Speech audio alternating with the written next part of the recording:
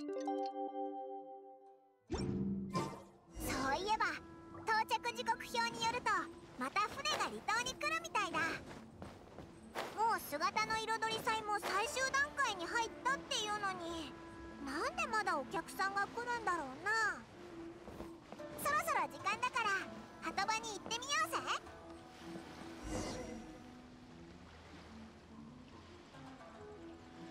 旅人さんパイモンさんお久しぶり。あここミニゴロへえ渡積島の。はい。ですが我々は渡積島の管理者として近頃は渡積島の事務もさほど多くはありませんし五郎は姿の彩り祭には興味がなかったのですが私が離島に来ると聞いて三五宮様が渡積島を離れると聞いてはな。それに今日は文通相文通相手はい。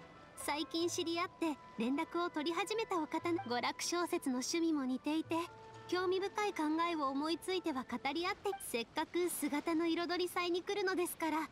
おおなんかすごく専門的な回だな。それは面白い考えで。さてそろそろ時間です。私ここみおいらもお前の文通相手が気になる。そうですね。あなたたちなら問題はないでしょう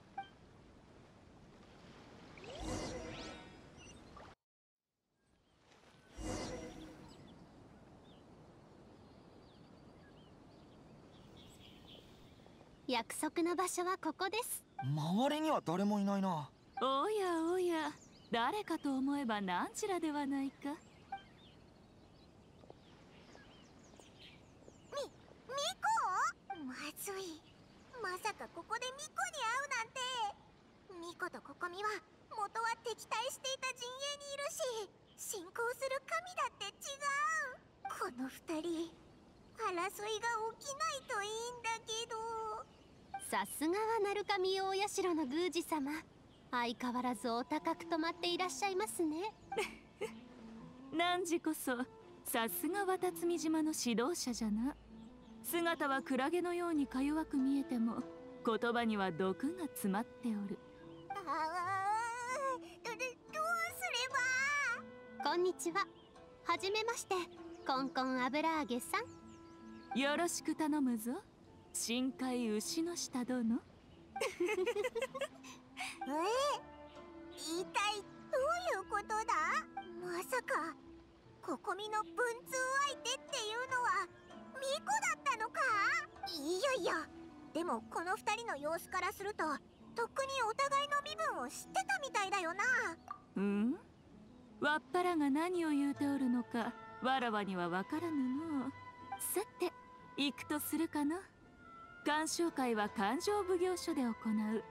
景色もよく。なんで小説鑑賞会が勘定奉行所で開かれるんだよ。お前たちが話し合ったりしたら小説業界が変わるどころか稲妻全体の情勢が変わっちゃうぞ。もうすぐ渡積島は稲妻の将来について幕府と正式に会談をします。その会談が開かれるまでに非公式の会合をしておくことも必要なのですそうじゃ。特にわらわのような幕府外の者が出向くことで双方が腹のただわらわたちはこれが初めての対面なのじゃ。そうだったのか。そういえば何時らの大将が見えぬ。あれ本当だ。五郎のやついつの間にかいなくなってる。五郎は私のために本の買い付けをしておりますので。なんと実に残念じゃ旅人さん少しいいですか？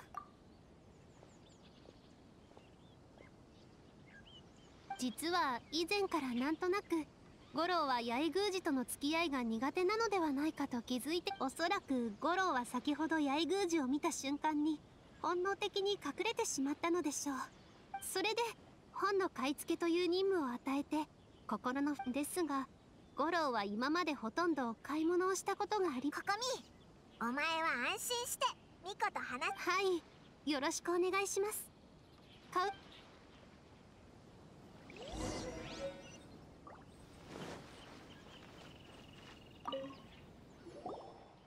五郎大丈夫？はあお前たちか。はあ。まさかあの女が急に現れるとはあいつとは俺は三国宮様の安全を守るために来たのに。ゴロあんまり自分を責めるなよ。これは三国宮様の買い物一覧表？は あきっとこれで失敗。オイラたちも一緒に行くぜ。オンに切る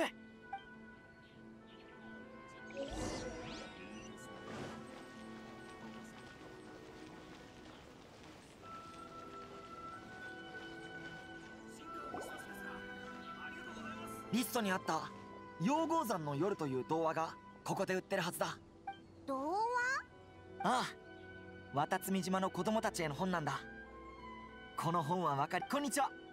陽号山の夜をこ毎度あり。おやお客さん運がいいですね。ちょうど引換券が当たりましたので。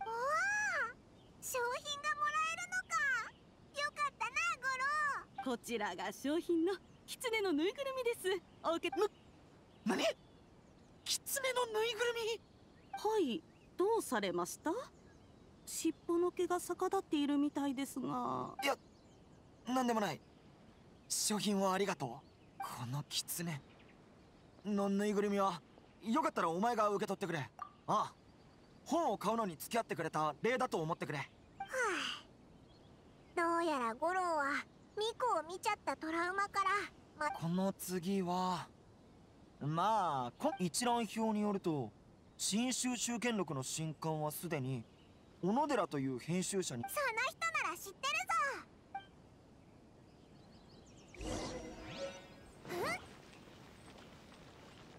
ご来場の皆さん安全には気をつけてください小野寺さんか？俺は深海牛こんにちは。ご用意してありますよ。深海それ以外にもここに書いてある本で在庫がかしこまりました。おや、お客さん。とても幸運ですよ。ちょうど浜原案戦記の100人目の購入者となりました。八重様の直筆書評が入った特別版をお送りいたします。なぜこうなる？お客さん、どうされましたか？なんでもないありがとう何しろさ深海牛の下さんから頼まれたものだ書評。なんか無理してそうだな。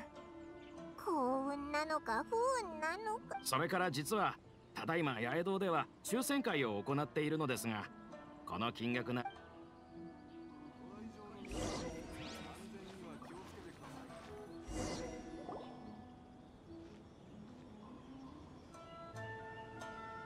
お客さん、こちらで抽選に参加してみてください。これを回してしばらくすると玉が出てきます。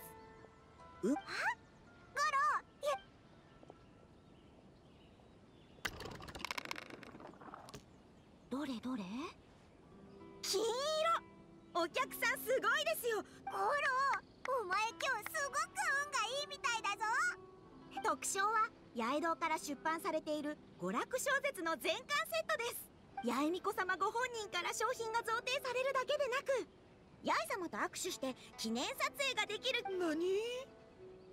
あの女に会わなければならないだけでなくあ握手して記念撮影だと？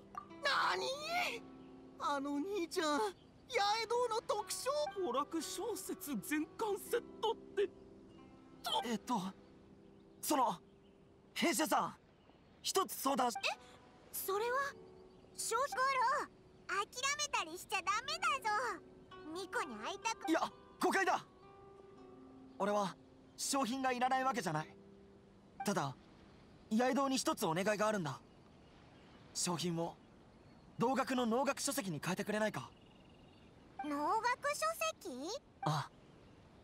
俺たちの住む渡積島の土地は痩せていて作物がなかなか育たない。さうん。深海牛の下さんが今回姿の彩り祭もしそれらの本を商品として交換できれば俺たちは予算を節約できる。なるほど。お考えは分かりました。でも今から八重様に連絡しますのでお客さんはあ。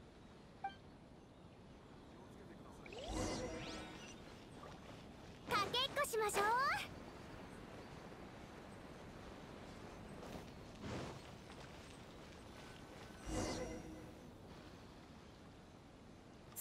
のゴロすごく勇敢だったな。ミコのことがね。そうか？あの時はただ三宮様に任せられたってことと俺は渡積島の大将なんだ。こんなところで負けちゃら今になって兵を率いて戦場に出ていた時の感覚を思い出した。たとえやうーん？ゴロなんか あの女が俺を困らせるような要求をしてこない。皆さんお待たせしてすみません。状況は？八重口は何と言って？ご要望にお答えして商品を娯楽小説から。やったそれにお客さんの利用目的を考慮しておまけをしてもいいともおっしゃって今から私と八重堂の倉庫まで本を選びに行きましょう。お客さんは明日の夜に船に乗ると聞きましたので。直接運ぶ？書籍選びは手間がかかりますし八重様はあなたに姿の彩り祭の良い思いですが八重様から手紙を預かったまさか八重美子が贈呈式を取り消すなんてな。はあ。またあいつに。じゃあ俺は編集さんと本を選びに行ってくれ。あ明日の夜にも。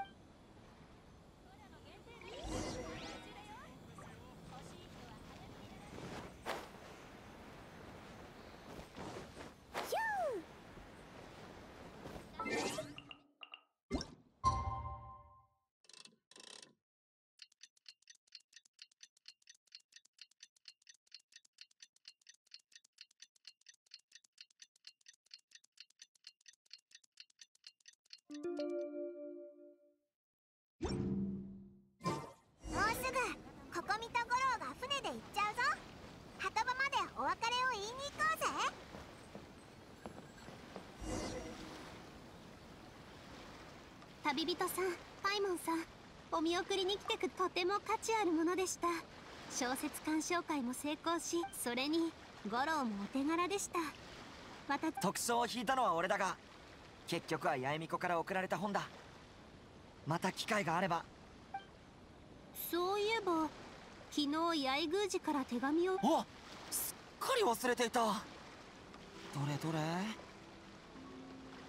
五郎へ贈呈式と記念撮影があると聞いて汝はさぞかし動揺し不安に駆られたことじゃろう。よもや汝がこれらの条件を受け入れた上にかような要求をしてくるとはな。